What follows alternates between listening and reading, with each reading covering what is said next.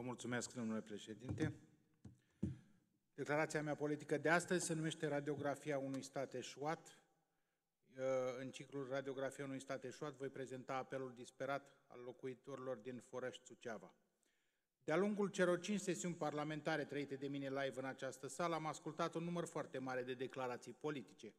Unele legitime, substanțiate, altele lăudând deșănțat guvernul și ministrii incompetenți, altele frăzind ridicolul și chiar pe alocuri patologicul. Rareori am auzit parlamentari intervenind punctual în sprijinul oamenilor care au ales. Apelul disperat al locuitorilor din Forăș Suceava, comuna natală a marelui corifeu psd Ioan Stan, mă obligă să nu bat câmpii despre subiecte banale, așa cum fac săptămânal unii conjudețeni iubiți de presă, ci să fiu vocea oamenilor care mi-au cerut ajutorul aici, în Parlament. Spicuiesc pe scurt din, mesaj, din mesajul sfâșietor al doamnei Mihaela Ivlev, locuitoarea comunei Furăș, care a avertizat de ani buni că dezastru se apropie, dar a predicat în van.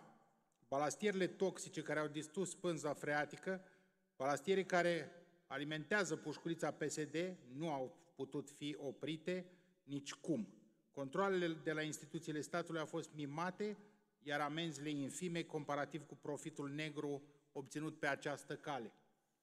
Citez, la Forăști, județul Șteava, lucrurile merg din rău în dezastru. Se pare că primarul Comunei Forăști a găsit soluția salvatoare. Toate problemele comunității legate de lipsa apei, de distrugerile provocate de balastiere vor dispărea ca prin farmec odată cu scoaterea la licitația terenului neproductiv, când va izlaz comunal ce face legătura dintre satele Uniceni și Roșiori și râul Moldova. Așa speră el că vor dispărea problemele. Motivează că are nevoie de bani pentru proiectele aflate în derulare. Fals! În fiecare an rămâne excedent bugetar, adică nu reușește să cheltuiască banii din buget. Frontul de captare a apei se află pe acest teren și altfel se pune, astfel se pune în, mișca, în pericol sursa de apă a întregii comunități. Fântânile sunt secate, situația este grea, accesul la râul Moldova va fi restricționat. Este un dezastru total ce s-a întâmplat în Oniceni. Lipsa apei, distrugerile provocate de balastiere, plângerile penale legate de fapte pe, aceeași, pe același subiect au determinat Consiliul Local PSD în frunte cu primarul să vândă locul care le creează atâtea probleme. Uh, am încheiat citatul. Constrângerile temporale mă împiedică să dezvolt acum uh, acest subiect, dar o voi face pe larg într-o conferință de presă. Aici însă, la tribuna celui mai înalt for politic al țării, cer tuturor factorilor responsabili să ajute Comuna Forăști. Primului ministru și ministrului mediului le cer să trimite de urgență corpul de control pentru a decela sursa reală a dezastrului.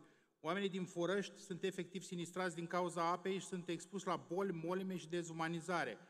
Factorilor locali, președintelui CJ Suceava Gheorghe Flutului, prefectului Moldovan, parlamentarilor PSD și PNL le recomand să plece asupra problemei și să propună soluții, nu să lase primarul cleptocrat din comună să mimeze că rezolvă problema prin angajamente vulpești, fără nicio valoare. Da, știu că e mai greu să ieși în teren decât să vă vă dați mâna ca să furați terenul SCA Suceava, dar măcar încercați.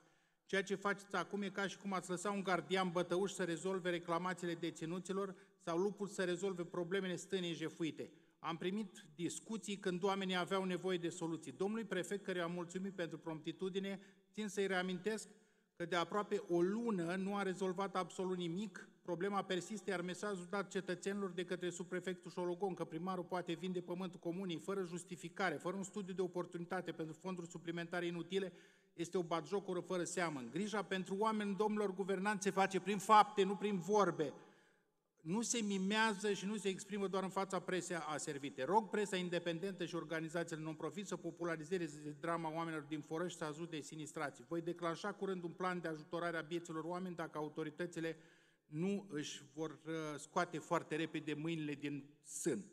Dragi oameni din Forăști, dacă Cercați voi nu veți ieși să vă spuneți păsurile, degeaba ne batem gura de pomană, Ieșiți în drum și poate la anul veți avea un primar nou, iar brăduțul se va împodobi la iarnă cu o pereche de bine meritate brățări argintii.